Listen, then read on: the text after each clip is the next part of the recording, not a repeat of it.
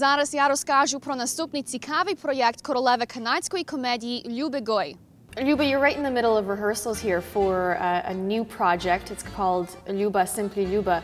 Tell me what this is all about. How many hours do you have? Luba, simply Luba.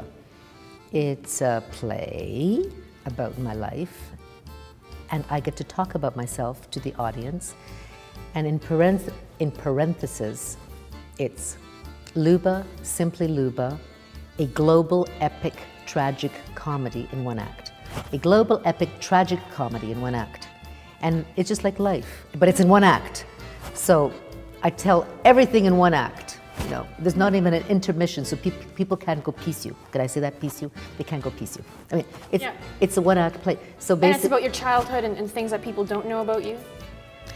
That's right. It, uh, it, it, it basically, if I want to encapsulate what it's about, it's about a little immigrant child who comes to Canada with her mama and tato, and they land at Pier 21. I mean, I don't, you know, I'm not giving you the play or anything like that, but basically coming to Canada, growing up in Ottawa, all the influences of growing up Ukrainian in a Ukrainian community in Canada, and wanting to be an actress in Canada, not in Ukraine, but all the vplywy, all the influences are all Ukrainian.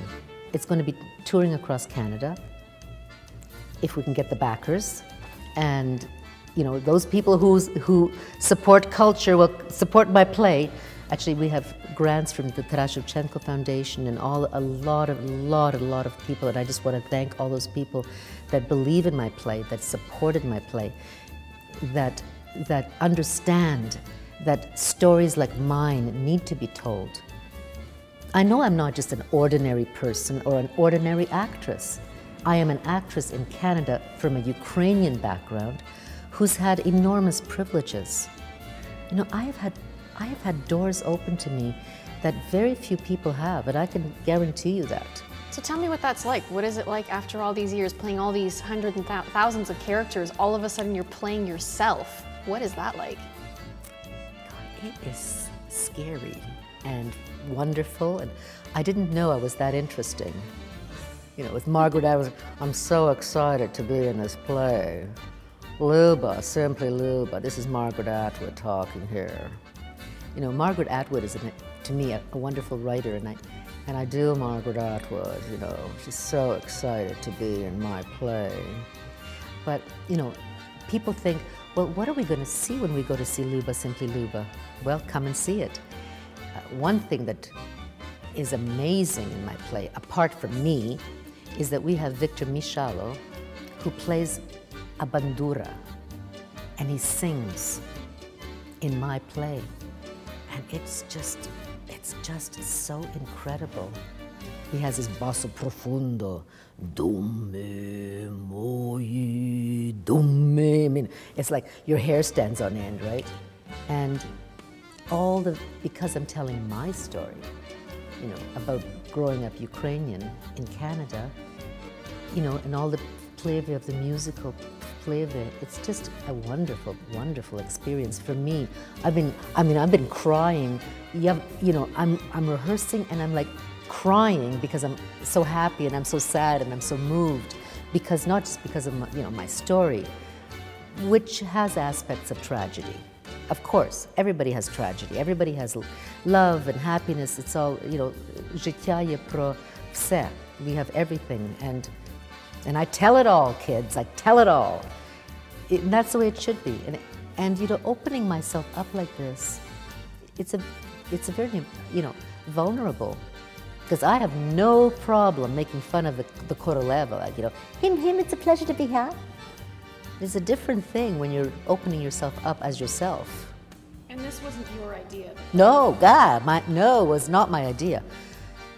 I- You know, when Andri said, you know, Luba, Air Farce will be finished one day, and when it's finished, we're going to do your a story about, we're going to do a play about your life.